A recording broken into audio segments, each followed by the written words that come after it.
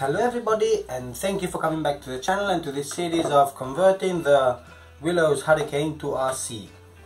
Now, I was going to say that the fact that I've done this before doesn't make it any easier, but it's not true. It does make it easier. But what I'm going to be doing on this chapter is uh, putting in the electronic guts into the plane. Um, I've got this I'm say test ESC that I've been using to be able to make sure that, uh, that all the pieces fit and uh, one of the challenges, the challenge, one of the many challenges is that all the pieces need to fit in kind of at the same time, right? So I've got the a good ESC that does work, I have tested it and I want to keep it in the in the bag as long as I can. That I'm going to need to glue in here. And the challenge is going to be to stick on this former, what I've done with the former, I don't know if you can see it because I did break it I think on two spots, I put some reinforcements so some reinforcement there, some thin strips to make sure that it's strong enough. And this will come when the real ESC is, that will have to go in here. And it kind of fits last time I tested it, which was a couple of days ago. But it does kind of fit. Now, if I if I show you then the next problem that I'm going to need to overcome, it's going to be, no it doesn't fit, but what it's, what the, the challenge that I have now is that then the, the plug the socket plug for the servo that's going to control the ailerons, it's in a very awkward position. So I have made this hole as big as I possibly could because I don't want to put in the servo right yet because to put in the servo I need to still build it into the bottom of the wing. The servo will be sticking out from the bottom of the wing with one uh, one X hole, I don't know how they call it, these, what are they called, The kind of the, this cross one cross horn or whatever it is, I'm not sure, the lever, uh, so that can, one servo can control both ailerons. So um, the steps that I'm going to do is first of all put in the ESC, start to build it in. I'm going then to have to figure out how how I'm going to put in the push rods that are going to control the, the tail surfaces. So that's uh, another challenge for which I might need also to do the modification to the tail surfaces first. And I'm also going to need the motor because the motor needs to go in first. The motor I need to go I need to solder it in which I'm not good at it but I will be doing the soldering so that's going to go in then. Uh, the gearbox which is here that's I'm going to put in at the end because I think I can plug the motor in there even afterwards. Uh, the motor will go in somewhere here. I'm going to have to turn the plan around also to make sure that it's all in line. So it's it's a lot of different things and it's important the order and uh, and to figure it out right? So now I'm thinking maybe better adapt the the tail surfaces movement the movement for the elevator and the rudder. Solder step 2 will be to solder the motor in. Step 3 will be to glue the ESC and the other former. Step 4 will probably be putting the other formers. Step 5 will be to make the holes at the right altitude or right height not altitude for the control horns on the ESC to move the tail surfaces. And then at some point and that might be then another chapter it's going to be building in the servo into the wing. So the servo into the wing I'm going to leave for the end. But there are plenty of other small small things details that need to be done kind of at the same time but they interfere with each other right? So it's that's a challenge. So let's see how that goes I'll start to do I start to do the preparations. I'll turn the plan around. I think I'll do that right away that I see what I'm going to be doing. And uh, let me update you when I have something to update you with. Time for an update.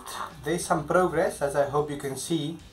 Uh, maybe some detail a little small detail that maybe you can see here. I made a hole in the fuselage former to pass the cables through it but the biggest or the most difficult or challenging for me was to actually to solder on the motor. So the motor is soldered on.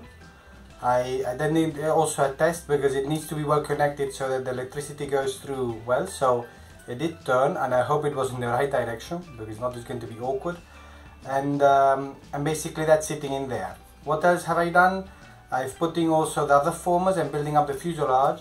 And this is the the, the tail plane is in place but it's not glued. Because what I'm doing now what the next steps will be is I'm going to take a wire you can't see it because maybe it's too thin and I'm going to start to make holes through the formers and connect onto the servos that are integrated on the ESC put there the horns. And like that I'm going to have the control rods that will go back. One for the elevator and then one for the rudder of course. So that's that's the next steps. And then hopefully also to set up the engine mount to build up the engine mount also and uh, maybe even to start to put some of the stringers. The challenge that I mentioned before I can't put in this side until I connect in the the servo so for that I'm going to have to work with the wing and build in the servo there under the wing. And another thing that also has to be done is the the battery compartment. It fits but very very tightly so I'm going to probably have to cut see if I don't drop anything I'm going to have to cut into the wing so that the battery can go in deeper and uh, I'm going to have to build in the, the battery hatch. On the Spitfire I had just let's say a quarter of the fuselage was the battery hatch and it's very very messy so I'm thinking now of doing a battery hatch that's actually the whole upper part of the fuselage. It might lose some strength but hopefully with the rest of the pieces in place it'll be it'll be strong enough to hold especially in case of crashes. So some progress, some big progress especially with the soldering because I'm not too comfortable with that yet um, there's still a lot to go, so let's see how it goes. A busy evening awaits me. And here I am with an update. So what I've done, I've put together this former, which is actually kind of the, the firewall that goes at the front of the fuselage. Um, everything else is connected. I've, uh, I've put in the push rods and they seem to be working. Maybe I'll show you them later. I'll connect it up and I'll show you that they, they do work. Both move backwards and forwards. And what I'm working on now is on the gearbox so I've made these blocks they are not glued on yet but I've built the blocks to hold the gearbox in there the motor will go and then I'll glue this to this first former somehow in the middle and uh, and then once I have this in place I'll put it all at the front of the fuselage and then I believe I'll be ready for actually an engine run up. Then I'll do the connection, the I put in the prop holder and the propeller and I can maybe do a, an engine run up and uh, that will hopefully be it for, for this part. There's still some electronics to go which is the, the connection of the servo for the wing that I still have to do. And then another thing that I'm also I've also started to do I'm working on the battery hatch. So that's in progress but it's not electronics related. So some progress which is good. And then hopefully in the next few days maybe hours hopefully I'll be able to glue this on and then show you the, the engine run up so getting close to the end of the video. Just hold out one more minute. I'm back. So I've put in the motor. The motor is going into the gearbox and I've glued it in.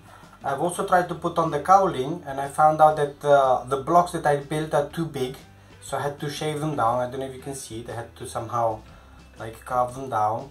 And now the cowling kind of fits. I think it's maybe sticking out a little bit too much but uh, but I think it's going to be okay. I prefer that it clears the, the cowling well enough.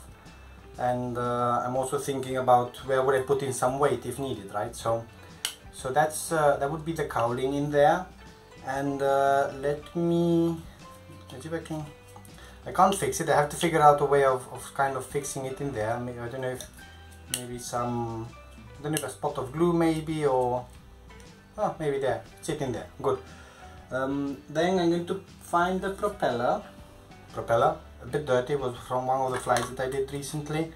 I'll pop it on, it does look a bit like too far away, right, like, mm.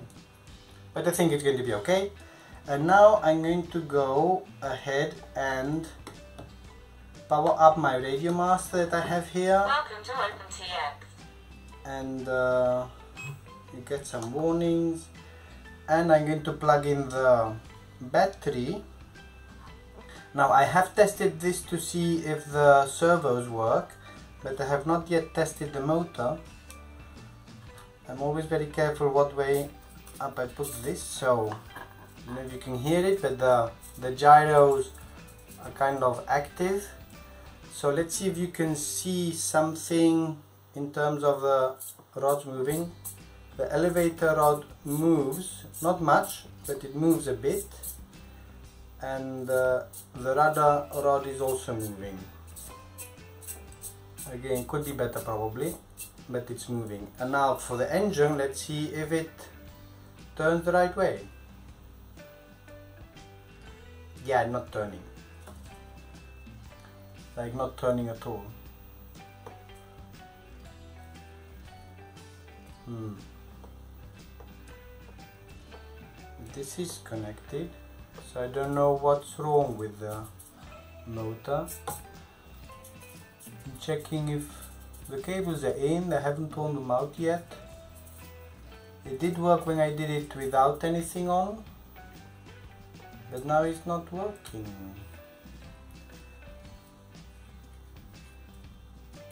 Oh now it started up somehow. Maybe it was somehow a bit stuck. Now it did start up and I don't know why. So it did move actually okay and it's turning the right way. Yeah the cowling falls off so I have to figure out how to glue it there. But it seems to be working so that's set. So I'm going to call it a day for this. So electronics are in. It's kind of probably the most complicated part of this other than flying it or getting it to fly. But from the build is probably the most complicated part. And uh, still the servo to go in as I was mentioning earlier and then the next part I think is going to be a fun part because it's going to be working with the wing and also building in the stringers of the fuselage because it's all unbuilt from one side from this side I'm going to have to leave it empty but this one will go on. But uh, so far progressing. Let's see. Let's see how it goes.